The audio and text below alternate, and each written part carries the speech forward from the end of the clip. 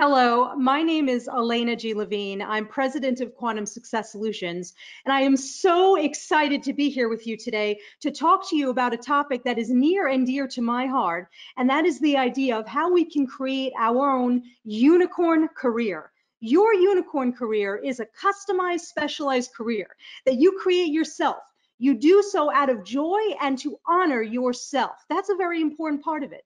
It is customized to your unique skills and abilities and expertise. It is specialized, specifically designed to give you the meaning and the impact that you want to have in the world, in the galaxy, and in the multiverse. It is about honoring and allowing us to express our full, authentic self 100% of the time. I'll be talking more about that idea, but I want you to remember that if you want to design a career that makes sense for you, that allows you to solve problems that bring you intellectual joy, use skills that are like chocolate and cupcakes for your brain, you have to be a servant to your own authentic self. That is a key part. Your goal in life is to do projects to solve problems and to add value to communities that serve those communities, that allow you to have the most impact, the most meaning in your life and to do things that actually are aligned with your own values and the way you view your mission and objectives in your career. This is not only a possibility, but it's a probability. We all can create a unicorn career for ourselves, even within traditionally existing structures, such as existing companies, universities, and research institutions, nonprofits, and other types of ecosystems and organizations around the world. The idea here to create a unicorn career that allows us to have the intellectual joy, that allows us to solve problems that bring us pleasure, and allows us to have meaning and impact that serves our authentic self and allows us to express ourselves in the most creative and productive way possible, is to always be looking for problems that you can solve and value you can add. Remember, the job search process, the job exploration process is never about what you, the job seeker, can get from me, the decision maker. It's the exact opposite of that. It's about what you, the job seeker, the career planner, the unicorn career designer and strategic professional is doing to create opportunities to advance the community, to solve problems, to give rather than take. It's very, very important as we think about our career planning to always look for ways that we can actually make a difference and add value as opposed to taking. When you do that, when you adopt the spirit of generosity, you can create a career that meets your needs and it allows you not to have to sacrifice even a corner of who you are. This is something I learned the hard way and the long way. You see, here I am today. I'm a professional speaker, a corporate comedian, a science writer. I'm an event planner. I wrote a book called Networking for Nerds. I love to do many different types of projects, and I've built my career and my business to allow me to do those things. But throughout my career, throughout my life, I knew that I was very interested in having meaning and impact in my life. I knew what my values were, but I always thought I would have to sacrifice a piece of me to be able to get a job, to be able to do a project, to be able to work with an employer or a collaborator. And I realized that's not the case. We never have to do that. Yes, we have to make money. We all have to have money to pay our rent, to pay for food. If you're like me, you have a substantial cupcake budget that you have to pay for as well. But there is still a way to generate income and be able to have meaning and to honor your authentic self. Throughout my life, I've had four threads that weave together to form Alaina.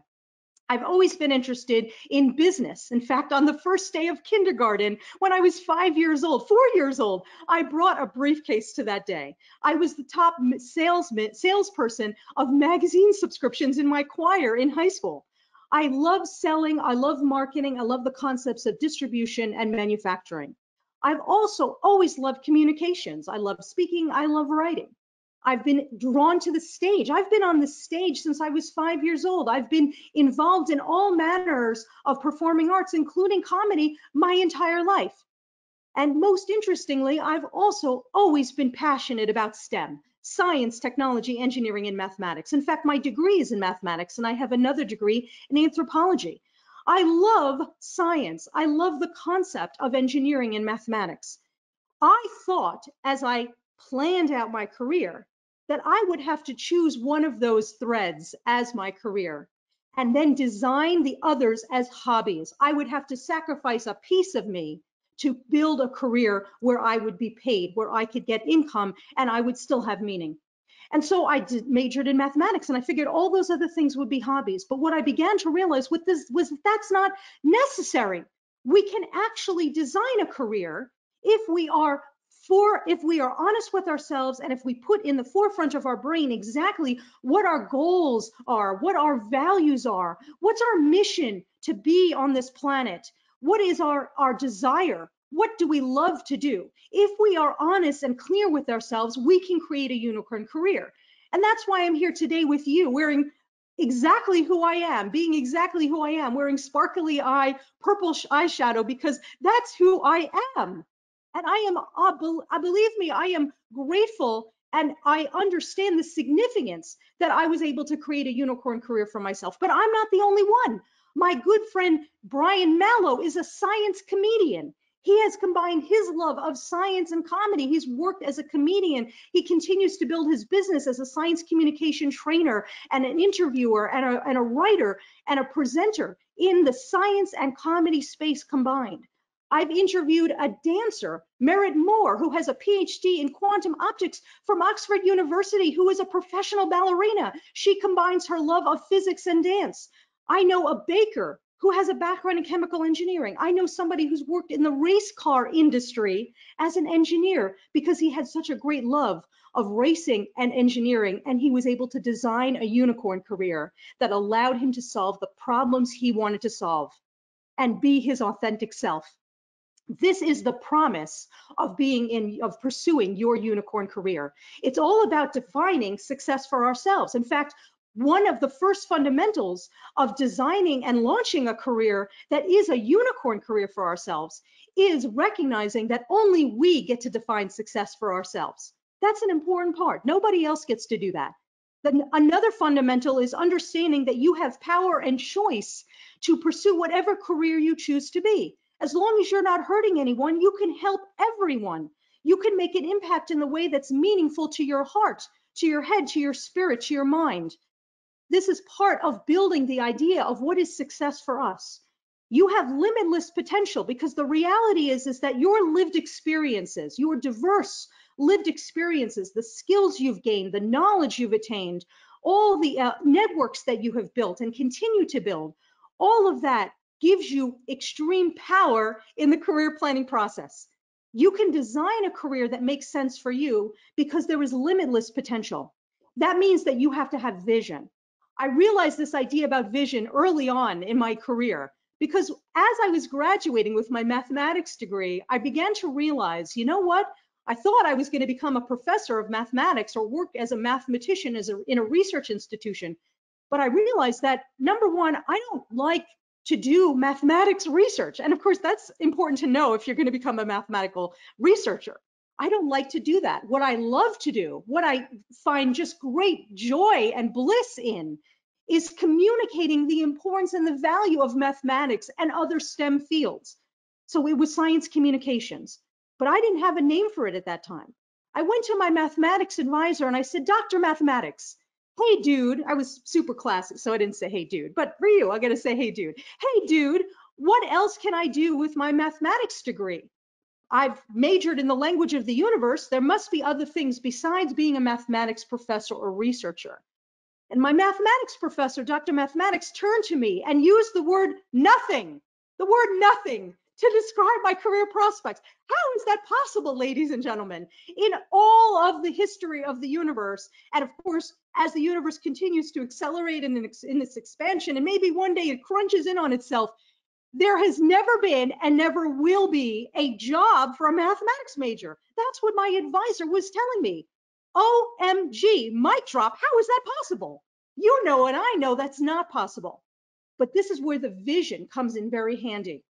My mathematics advisor was like an ant in a two-dimensional plane. He only knew what he was educated and trained in. So he didn't have perspective or access to other types of information, other data points that would help inform his advising of me to help me see that there were other many, many, many other jobs, limitless jobs for somebody who had studied mathematics, just like there is limitless jobs for somebody like yourself who's interested in X and Y, who studied A and B like an ant in a two-dimensional plane. He only knew the tenure track as a mathematics professor. I had to have the vision. I had to be able to say, wait a second, as a third dimensional being, I can see connections. I can see bridges between different uh, fields, different ecosystems, different disciplines, different industries, and certainly different jobs. And I had to have strength and courage, just like you, to be able to move forward and say, wait a second, this doesn't sound right that there's only one type of job for a mathematics major. I'm going to look into other things. As I moved forward in my career, I began to become what I encourage you to do, which is a career entrepreneur. A career entrepreneur is just like a business entrepreneur. They look for problems that have not been solved. They look for walls that are impeding innovation that they can help knock down. They look for pain points in systems they can help alleviate. And I was very mindful as I started my career in science communications to look for those gaps. It didn't come at first naturally, but I developed the skill set. You have to look for those gaps in systems. Where are the pain points? And once you identify those pain points and those gaps, you want to start thinking to yourself, is there a way that I can help alleviate those pain? Those pain points? Is there a way that I can help knock down those walls and help innovate in new and novel, exciting ways? That's part of building a unicorn career. And that's what I noticed. In my particular case, I saw that for mathematical majors and graduate students in STEM fields, there was a significant lack of career education and curriculum. Nowhere in any abstract algebra class did I get any knowledge or advice or information about how to look for a job, plan a career, and be successful in that career. It wasn't discussed. I saw a pain point. I saw the pain point, and then I realized with my expertise in soft skills, which I had, and my love and my skill set of speaking and in presenting talks and using my comedy to engage audiences, I could fill the gap. I could solve a problem that would add value to a customer, to an employer, to a collaborator who would invest resources in me.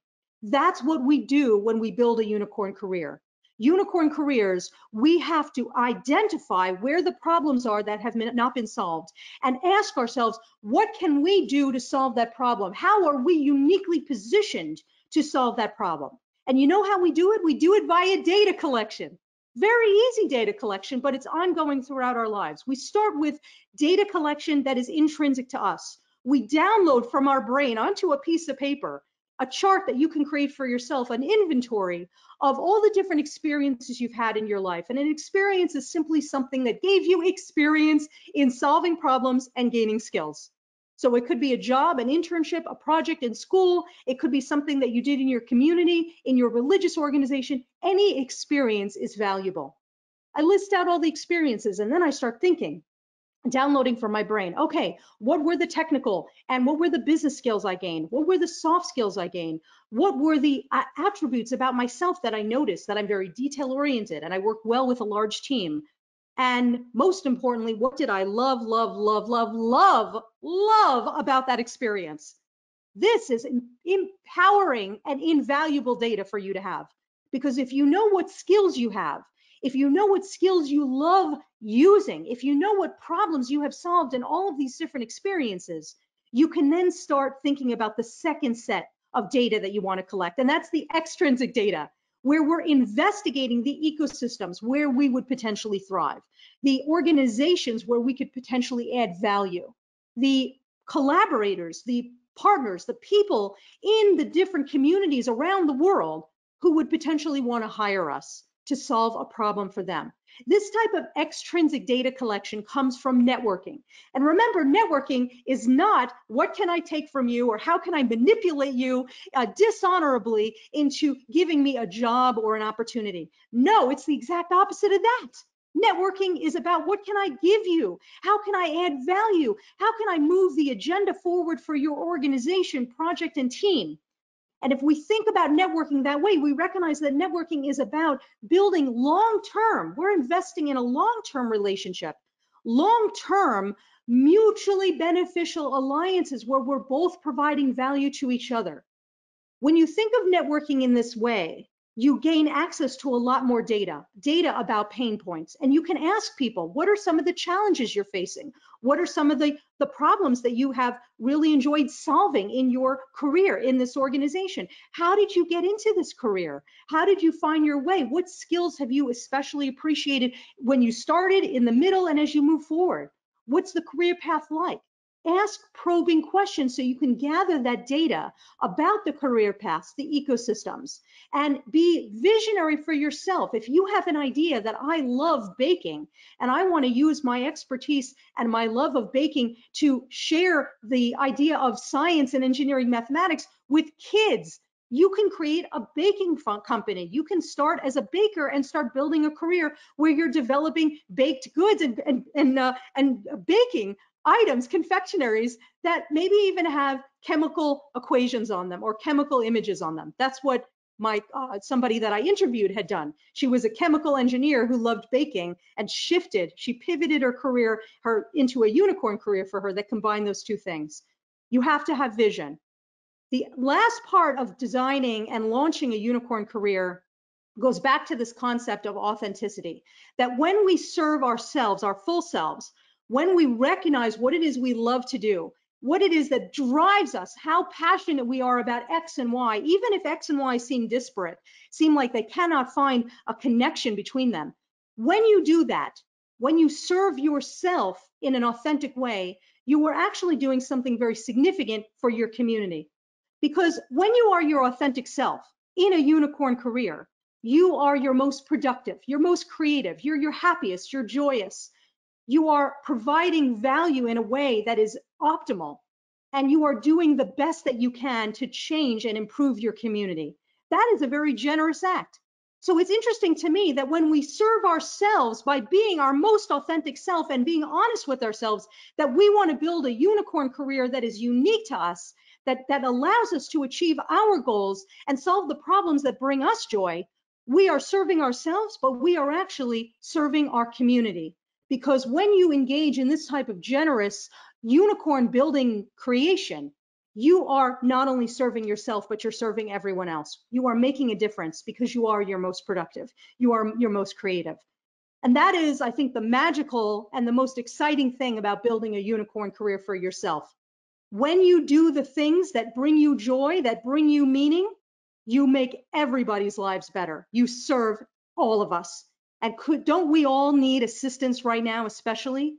So here's to your unicorn career, your exciting, customized, unique career that you design for yourself with your bravery, with your strength, with your vision and your talent and your skills and your abilities, and with your 100% authentic self. I look forward to seeing your purple sparkly eyeshadow when you launch your unicorn career.